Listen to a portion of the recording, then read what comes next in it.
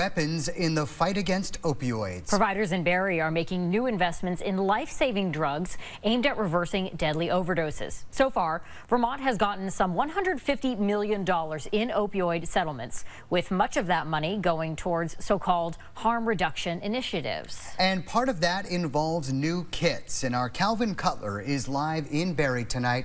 Calvin, what's in these kits? Good evening, Darren and Kat. They contain naloxone, otherwise known as Narcan, and they contain breathing kits as well. Now, this is just the latest step that the community of Barre is taking to give more people tools in the fight against opioids. Central Vermont taking a new tact in overcoming overdoses. This week, service providers will be installing two Nalox boxes in town, one at the Turning Point Center of Central Vermont and another at the Foundation House.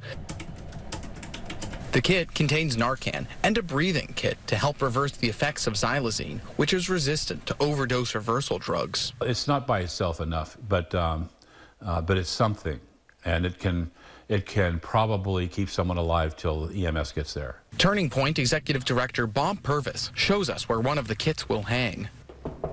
The initiative is a form of harm reduction, aiming to help people with substance use disorder practice safely while giving them resources to enter into treatment through Vermont's hub and spoke model. One of these Nalox boxes can go for up to $275. Could that be enabling?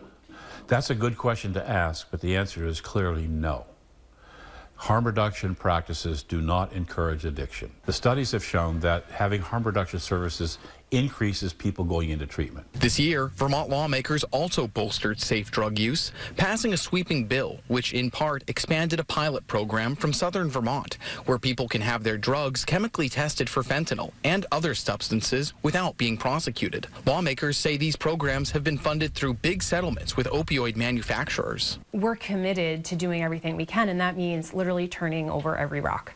Attorney General Charity Clark says in addition to opioid manufacturers, many many other companies bear responsibility for the lives lost. In the latest settlements announced earlier this week, Walgreens, CVS, Allergan, and others will pay $46 million to fund harm reduction services in communities across Vermont. We're doing the best that we can to make sure that we're doing all that we can to hold those people accountable and get as much money as we can for Vermont, but we know that it's not enough. But back in Barre, Purvis says the new boxes are mostly symbolic. Uh, there's still a lot of stigma out there, and so that's fine. But there's still going to be the majority of the Narcan will be people coming in the door and asking for it. Now, staff at Turning Point will be installing the boxes here in Barre tomorrow, and they're hoping that they can be a model that the rest of the state can replicate. Reporting live in Barre, Calvin Cutler, Channel 3 News.